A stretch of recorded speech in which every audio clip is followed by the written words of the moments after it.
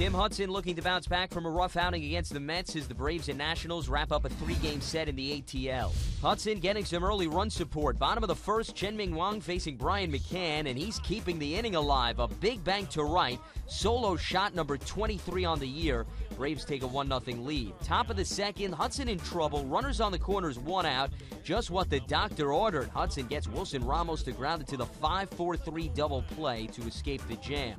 Bottom of the frame, Chipper Jones leading off and feasting. Long drive hit to left center field with a lot of spin on it. Backspin, back toward the wall, gone.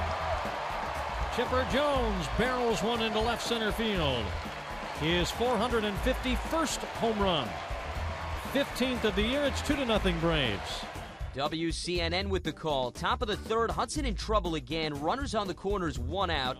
Well, just like last time, he escapes the jam, getting Ryan Zimmerman to ground into a 5 4 3 double play. Around the horn we go. Move to the sixth. It's now 3 0. Jayson Werth leading off, and Hudson makes his first mistake. Werth feasts on the offering, number 17 on the year. Nationals get on the board 3 1. Hudson threw six innings of one run ball, five hits, two walks, five Ks. Top of the eighth, it's now 4 1. Jonny Venters pitching, in trouble. Bases loaded, one out. Michael Morse in the box, grounds one towards third. Chipper Jones has it, but he bobbles it.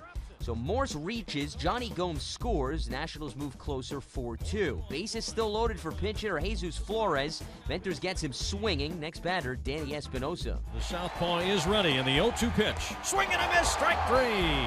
Blew him away with a slider. The side is retired and the lead is intact. WCNN with the call. Top of the ninth, it's now 5 2. Craig Kimbrel to close things out. One on, two out, and he gets Ian Desmond swinging to end it.